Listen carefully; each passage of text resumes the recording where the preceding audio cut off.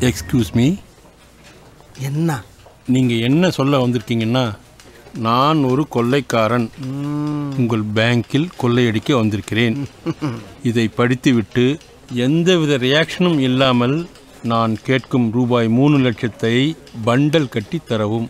இல்லை என்றால் துப்பாக்கியால் சுட்டு கொன்று விடுவேன். அதுதானே? தெரியுதுல்ல. அப்புறம் என்ன பக்கத்தில் டிஸ்கஷன் படித்ததை புரிஞ்சுக்கிட்டு சட்டுப்பட்டு